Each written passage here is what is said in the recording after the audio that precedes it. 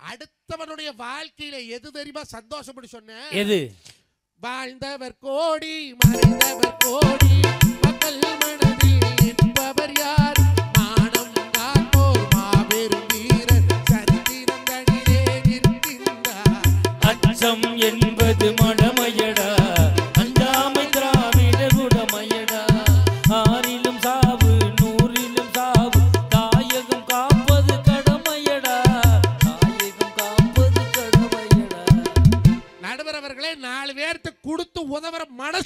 சொந்தக்காரனுக்கு. இன்னைக்கெல்லாம் யாரு கொடுக்குறா? பத்து பைசா விட கம்மி கொடுக்க மாட்டீங்க அது என் சித்தப்பன் தான்டா ஒன்னா நம்பரு. என் சித்தப்பன். அப்படியா? பத்து பைசா எவனும் கொடுக்க மாட்டான் இன்டர்நேஷனல் கஞ்சன். ஆ, எங்க ஊர்ல கோயில் கும்பாபிஷேகம் பண்ணோம் இது மாதிரி. சரி. விழா கமிட்டி பத்து பேர். அதுல நான் ஒரு ஆள். என் சித்தப்பன்ட்ட தான் முதல் வசூலுக்கு போனோம். ஏன்னா எங்கள் ஊரில் முதல் கோடீஸ்வரன் அவர் தான் காலையில் ஒம்பதரைக்கெல்லாம் அவர் வீட்டுக்கு போயிட்டான். வாங்க வாங்க எல்லாரும் வந்திருக்கீங்களேன்னாரு. கோயில் வசூலுன்னு நோட்டை கொடுத்தான். அஞ்சு லட்ச ரூபாய்க்கு ஒரே செக்கு கொடுத்தான். அஞ்சு லட்சம்? கொடுத்தது ஏன் சித்தப்பே வாங்கினதுனா இதில் என்ன உனக்கு வைத்திருச்சு அங்கிட்டு போ. அஞ்சு லட்ச ரூபாய்க்கு செக்கு கொடுத்தான். பத்தரைக்கெல்லாம் போயிட்டேன் இந்தியன் பேங்க் வாசல்ல இருந்தோம். மேனேஜர் வந்தார் வாங்க அப்படின்னாரு. என்னன்னாரு? கோயில் வசூல். பத்து லட்ச ரூபா செக்குன்னு. வாங்கி இப்படி பார்த்தார் இப்படி பார்த்தார் செக்கு செல்லாதுன்ட்டார். ஏங்க? இந்த ஆள் கையெழுத்து போடாமல் கொடுத்துருக்கான்டா. திருப்பி வந்துட்டேன் சித்தப்பா நீ கொடுத்த செக்கு செல்லாதான் அப்படின்னு ஏன்டா மைனேன்னு கேட்டார் நீ கையெழுத்தே போடலையப்பான்னு. அதுக்கு அவன் சொன்னான் பாரு பாயிண்ட் இது மாதிரி பொது காரியத்துல எல்லாம் என் பேர் வெளியில் வர்றது விரும்ப மாட்டேன். அதுக்கு விரும்பாத ஆள் கிடையாது எதுக்கு விரும்பாத ஆள்? எங்கள் ஊர் மாரியம்மன் கோயிலில் பத்து லீப் டீப் லைட் வாங்கி கட்டியிருக்கான். வெளிச்சமே இல்லை. டீப் லைட்டை சுற்றி சொந்தக்காரன் பேரை பூரா எழுதி வச்சுட்டு போயிட்டான். எங்கிட்ட வெளிச்சம் வரும்? வராதுங்க. இந்த கொரோனாவில்? அவர் சேலத்தில் தான் கம்பெனி வச்சிருக்காரு. அப்படியா? கம்பெனியை கொரோனாவில் பூட்டிட்டு எங்கள் ஊருக்கு வந்துட்டார்? எங்கள் ஊர் உங்கள் ஊர் மாதிரி கிராமம். கிராமம். கபசுர குடிநீர் குடிச்சா கொரோனா வராத நாங்கள்ல ஆமா. இவரே அடுப்பை பத்த வைப்பாரு கபசூர குடிநீரை காய்ச்சுவாரு. எங்க ஊர்ல நூறு பேருக்கு மட்டும் கொடுப்பாரு வந்து வீட்டுல படுத்துக்குருவார். நான் திருந்திட்டியா சித்தாப்பான்னு கேட்டேன். அதெல்லாம் ஒண்ணும் இல்லடா இந்த நூறு பேரும் என்கிட்ட வட்டிக்கு வாங்கியிருக்காங்க செத்துட்டாங்கன்னு என்ன பண்றதுன்னு. அந்த நூறு பேருக்கும் கொடுத்தா நூறு பேரும் பொழைச்சிக்கிட்டா என் சித்தப்பா போயிட்டான். அதுல ஒரு டம்ளர் இருந்தாலும் குடிக்கப்படாது அவ்வளவு ஒரு இன்டர்நேஷனல் கஞ்சன். ஆனா நீங்க? நான் ரொம்ப தாராளமான. ஆமாங்க. பழனிக்கு தைப்பூசத்துக்கு. நடந்தே போனேன். நடந்து? போய் உண்டியல் போடலாம். காசை எடுத்து வெறும் ரெண்டாயிரம் ரூபா தான் வந்துச்சு. நம்ம முருகனுக்கா ரெண்டாயிரத்தை போடுறது உள்ள அமைக்கிட்டு பழைய ஐம்பது ரூபா ஒன்று பஞ்சர் ஓட்டுனது இருந்துச்சு. அதை எடுத்து போட போனேன் பின்னாடி உள்ளவே என்னை சுரண்டுனான் இப்படி பாக்குற அவன் கொஞ்சம் காசை கொடுத்தான் வாங்கி உண்டியல்ல போட்டுட்டு சொன்னேன். டேய் நீனும் பழனிக்கு நடந்து வந்த நானும் நடந்து வந்தேன்.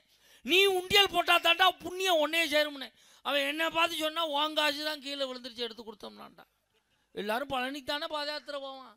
நான் ஒருத்தன் தான் பழனிலேருந்து தேவகோட்டை பாத யாத்திரை போனாள் டீ டீயும் இல்லை பஞ்சாமிர்தமும் இல்லை. நடுவர் அவர்களே ஒரு பெண்ணுக்கு எதுங்க அழகு? எது அழகு? என் பொண்டாட்டி சொன்னா மாமா மூஞ்சி பூரா புண்ணு வந்துட்டுது. நான் போய் பேசியல் பண்ணிட்டு வரேன் பணம் கொடுக்குறியா என்னன்னு கேட்டான். நான் கேட்டேன் நாம சாணி வலிக்கிற நாய்வோ காத்தால எந்திரிச்சு மாட்டு மூஞ்சியில் முழிக்கிறோம். நாம பேசியல் பண்ணிட்டு இன்னொரு புருஷனை கட்ட போறோம் நீ. கல்யாணம் மூச்சு பன்னெண்டு வருஷமா குத்து கல்லாட்டு கொடுக்குறேன்ல நான் உன்னை பிடிக்கலையே மூஞ்சி நல்லா இல்லைன்னு சொன்னாலும் நீ பேசியல் பண்ண போகணும். ஆ. கம்முனு இருவ கட்டிட்டு வேலை பாரு நம்ம தோட்டம் போய் பால் பீச்சிட்டு வரேன்னு போயிட்டு இருக்கு. நான் போயிட்டு வரக்குள்ள வெண்ணு பண்ணிட்டா ஊட்ட பூட்டிட்டு அங்க போயிட்டான். ஆ. என் பையன்கிட்ட சொல்லிக்கிறா அம்மா வந்தா பட்டர் பேசியல் பண்ணிட்டு வரேன்னு சொல்லிட்டு போனான்னு சொல்லணும். அது என்ன தெரியுமா பட்டர் பேசியல் பட்டர் பேசில்னா என்ன? இந்த பாலாடை இருக்குதுல பாலாடை. ஆமா. பாலாடை எடுத்து அந்த பண்ணாடை மூஞ்சில அப்பி செத்த பணத்தை போஸ்ட்மார்ட்டம் பண்ண மாதிரி பண்ணி படுக்க வச்சுக்கிறான். அங்க போனா எவ்வளவு செலவாகும்னா நாலாயிரத்தி ஐநூறுரூவா ஆகும்னாலுங்க நாலாயிரத்தி ஐநூறுங்க.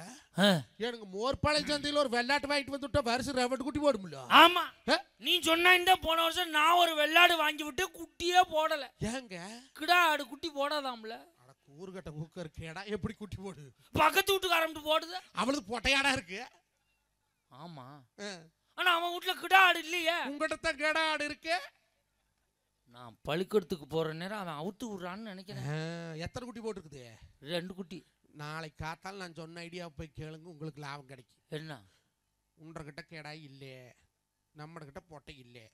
நம்மட கேடா சேர்ந்தான்னு ஒரு பொட்டையாடு குட்டி போட்டுது. ரெண்டு குட்டியில் ஒழுக்கு மரியாதை ஒன்று பங்க கொடுன்னு கேளுங்க. ஆ. கேட்டேன். அவன் அந்த சாணி கிடக்குல்ல அதை அள்ளிக்கிட்டு போய் தான் உனக்கு மிச்சம்ட்டான்டா. நடுவர் அவர்களை நாலாயிரத்தி ஐநூறு செலவு பண்ணி ப்ளீச் பண்றதுக்கு எங்க போறது. கம்முனிருன்னு சொல்லிட்டு போனா. இவன் அங்க போய் நாலு பொம்பளையும் குண்டு குண்டா குண்டு குண்டா செத்த புடத்தை போஸ்ட்மார்ட்டம் பண்ண மாதிரி நம்ம ராணி கணக்கா படுத்திருக்கிறாங்க. நான் கிட்ட போய் அடியே அம்மனியே அடி ராசாத்தி அடிய பொண்டாட்டி ஆள கொண்டா சாவி என்ன எவ்வளவுமே வாய் திறக்கலையக்கா. அல்ல வாய்க்கு அனுமாருக்கு வெண்ணக்காப் சாத்துற மாதிரி சாச்சி வச்சிருக்குது. எவ திறப்பா? அந்த அம்மா உங்களுக்கு எப்படி பக்கத்துல டவுனா எனக்கு நம்பி விட்டவனா அவ அந்த வெளியில் நின்று ஓரமா நின்று போன்னு பேசிட்டு இருந்தா. ஓனர் அம்மா. ஓனரம்மா நான் கிட்ட போய் என் தங்க என் பொண்டாட்டி வந்தா? சாவி கொண்டு வந்துட்டா. நீங்களே போய் வாங்குங்கண்ணா. அங்க நாலு பேர் ஒரே சைஸா ரோடு ரோலராட்டு கிடக்குறாளுவோ. எவன் அடையாள சிக்கல் வந்து வாங்கி கொடுங்க அவ கேட்டா உனக்கு கல்யாணம் எத்தனை வருஷம் ஆச்சு. பன்னெண்டு வருஷம் ஆச்சு கண்ணு அப்படின்னு. ஏண்டா அறிவு கட்டவனே. பன்னெண்டு வருஷமும் உங்க உங்ககிட்ட பொண்டாட்டி உழைக்கிறல்ல? அவளோட அடையாள சிக்கல் ஈங்கிறேன் வந்து பத்து தான் ஆச்சு எனக்கு எப்படி தெரியும்னு அவ கேட்டா கரெக்ட் நாங்க ரெண்டு பேசிட்டு இருந்த பாருங்க கதவு திறந்துருந்தது அந்த நாய் ஒன்று வளர்த்து வாழறதுக்கு அந்த பொம்மிரேணி நாய் மோசு மோசுன்னு ஆமா. அதுக்கு என்ன பண்ணுச்சு கதவு சந்தில் மூட்டிட்டு வந்தது நடுவரவர்களை பாலாடை பார்த்தா நாய் கம்மன் இருக்குமா? இருக்காது. அது சேர் மேல ஏறி படுத்திருக்கிற மூஞ்சி போய் சொல்லு சொல்லு சொல்லு சொல்லு நக்குது.